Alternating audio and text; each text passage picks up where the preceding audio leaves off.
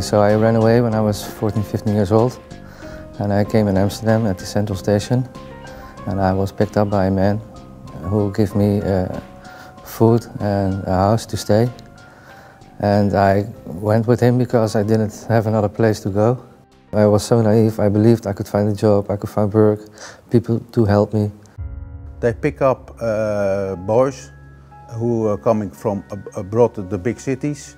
Uh, they pick them up at the stations. Uh, there are, are, guys who are very clever who see he's coming, he has nothing to do. They, they, uh, they, ask, they speak to him and they say, Do you, you're, you're looking for a, a, place to sleep? You can come with me, you can sleep. And then they give them uh, alcohol, they give them drugs. The day after I woke up, I found myself without clothes. And uh, he made some pictures of me. And uh, uh, I said, what are you going to do with the pictures? Yeah, I will send them to your parents if you don't want to work for us. And I said, what kind of work?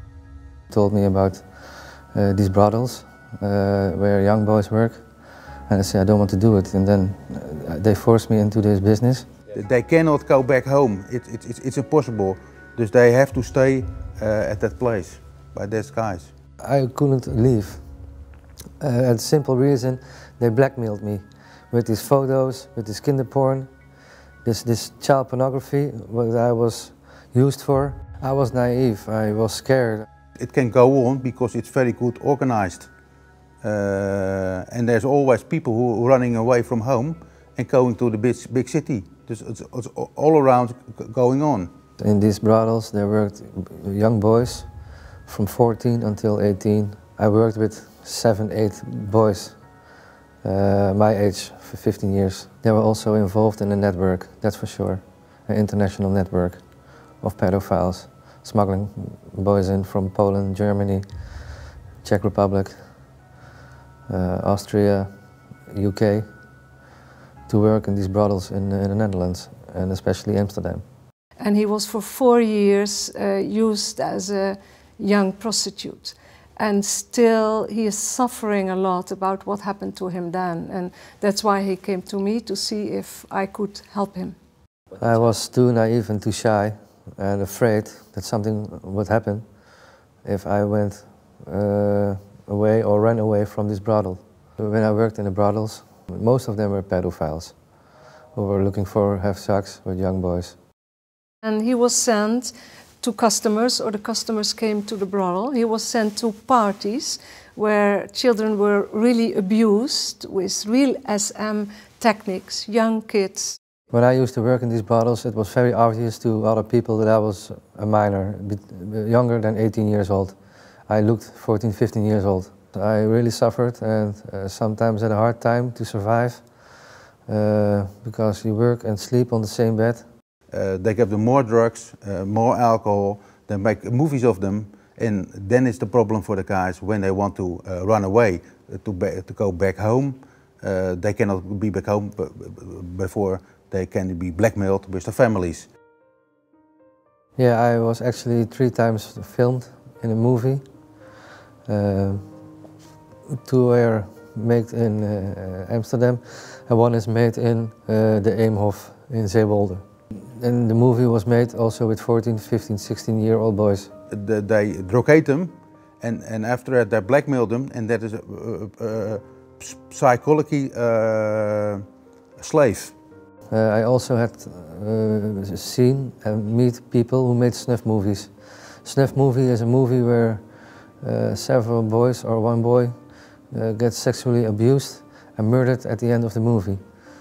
Uh, they asked me to play in one of these movies for a lot of money and I refused because I knew from other boys that it uh, can be very bad for you because you don't survive it. The customers of those youth brothels are not the normal uh, people you, you think about uh, walking in the night and uh, entering those brothels, but among them were high level politicians, um, members of the prosecution office and high uh, politicians. So people with high status in, in Dutch society.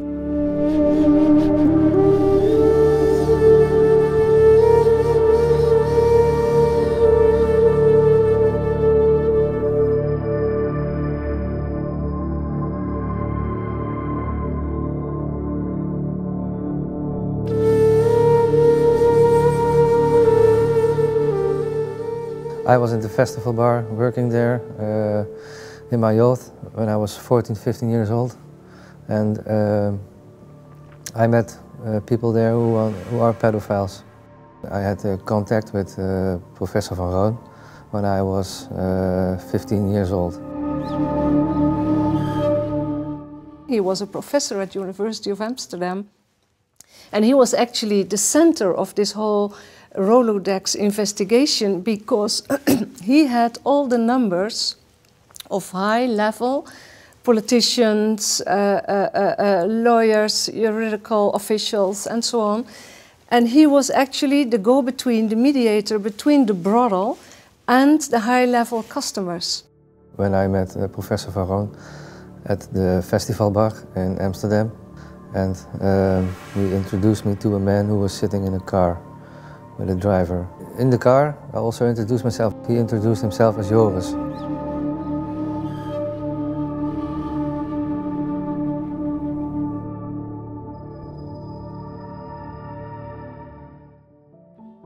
When I first met Demmink, he asked me for my age and I said to him I was 15 years old. Joris Demmink asked me to have anal sex and he really wanted to force me to do that. He was sent by Professor van Roon to a car with a chauffeur and a man in it named Joris. That this man, and uh, of which later said I recognize him as being Mr. Demmink. Uh, while the uh, private driver was driving, uh, he wanted to have oral sex. Demmink never came out of the car. He uh, always stayed in the car because he don't want to be seen in those places.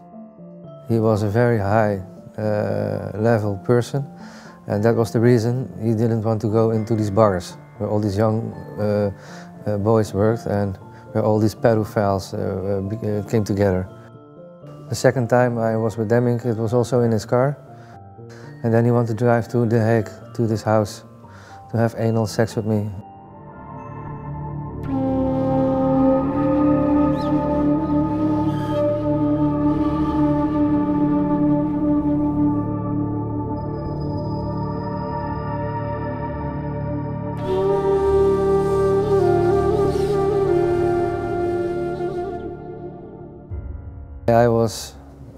A witness in a very big, very big investigation.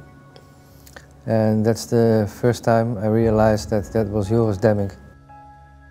In Amsterdam, there was an investigation into the brothels where uh, it was victim of.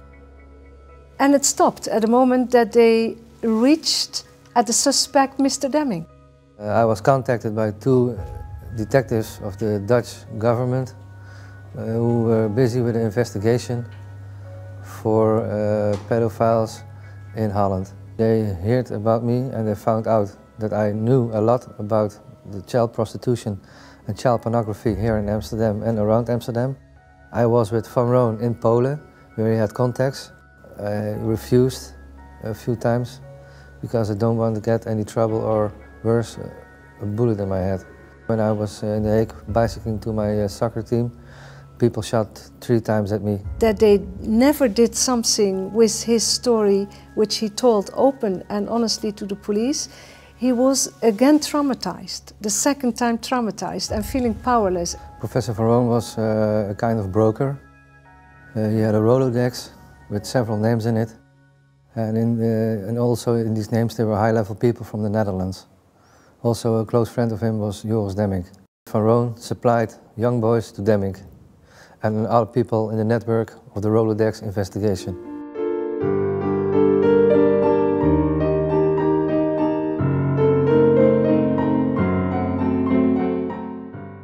His story for me is a real credible story because it was confirmed by one of the policemen who was then functioning as a policeman in the team that did the Rolodex investigation. And this policeman also told me, still anonymous because he's very scared, that they found out that two suspects of uh, uh, the, the, customers who came to those brothels was one high-level uh, prosecutor and another one was, at that time, a high-level uh, uh, official of the Ministry of Justice who is now Secretary General of the Ministry of Justice, Mr. Demmink.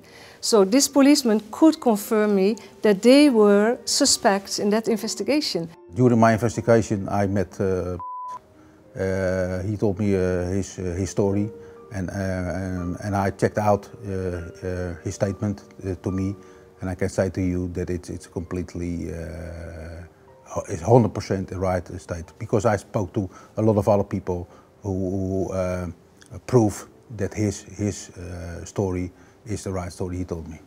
We have now one person who is identified by four or five people as abusing kids. That's Mr. Demmink. And when I see myself filing um, criminal charge against this high um, uh, uh, official in the Ministry of Justice, actually the highest one, Mr. Demmink, I see that there is a complete denial of all the evidence I have by the prosecutors who I asked to prosecute this case.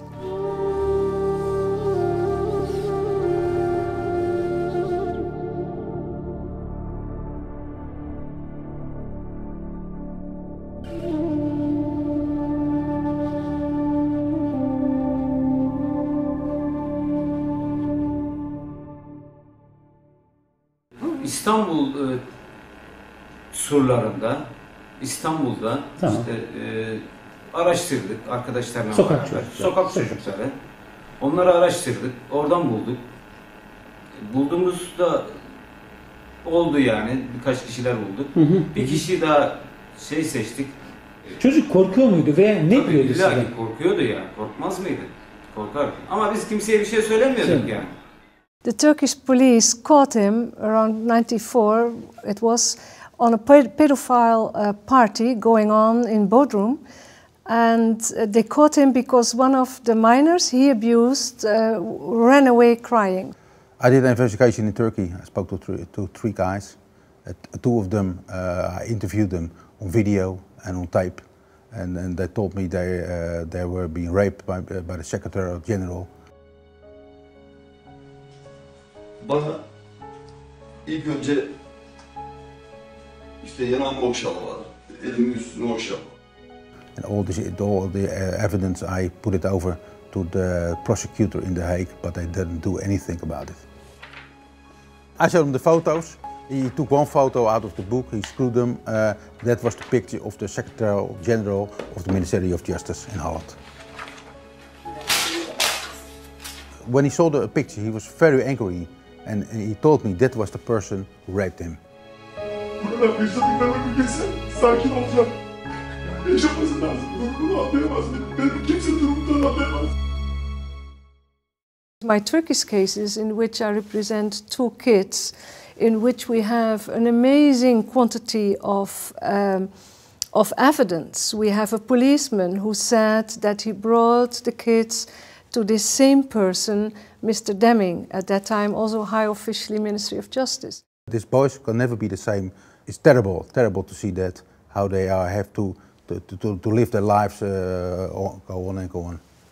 I think that my investigation is shut down because it's of the high level person uh, is so powerful they can, that he, he, he can break down my investigation.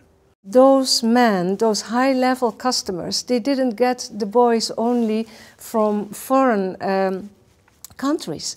They got the boys also from criminal organizations. So, what we see also is that criminal organizations in the Netherlands gather influence on high level officials in the Ministry of Justice who has the power to decide about everything. So this means that you get a complete deterioration of your system of democracy, rule of law. He control uh, about everything. He controlled the police and he controlled the just, uh, justice system. He controlled uh, everything. He's a pedophile and he used his power uh, to continue uh, all his pedophile actions. In the Netherlands, they want to go on believe in their own fairy tale.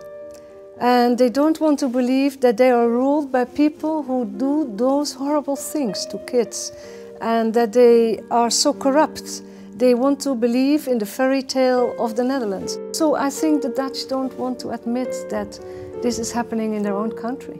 But not accepting it means they let it go on. That's the problem, and that's where we stand for that we say no, we have to bring this out.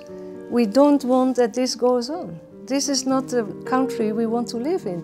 Citizens in Holland uh, says it, it, it, it, doesn't happen in Holland. It happens uh, maybe in, uh, in, in, other countries far away, but it doesn't happen in, in Holland. They don't believe it, therefore they can continue, uh, that's my opinion. When he sees that the people who were abusing him when he was a young kid without any power will be brought to court, then he can find his own power back as now an adult. Psychologically, for him, it's very important that his truth is accepted and that the guilty persons are brought to, to court. Demmink uh, will when he retires, will probably leave the Netherlands. And what you know, uh, uh, it is, it will really be a shame for the Netherlands that such a man is leaving his position with a ribbon of the Queen and maybe some extra money and can leave to a country where he can go on uh, using, abusing minors and uh, not being brought to court. And what we want is that even before he leaves, justice will be done. The facts I have would be enough for a conviction, I say as a criminal lawyer.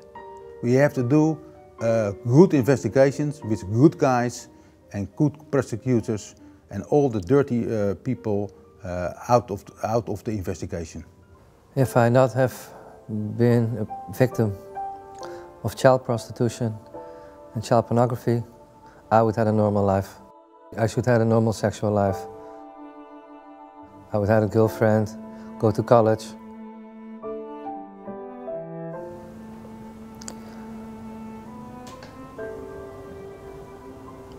Grow up as a normal person. That they will put uh, pedophiles, child abusers, and people who are busy with making kinder porn child pornography, that they will be convicted and that they will seriously look to victims of uh, these brutal people because you are uh, damaged for life. When I first became a father, I realized how sick people were in the time I was working in the brothels. How can you do that to a child? because you really molest them for life. You break them for life. I will hope that people will stand up and uh, make a fist and uh,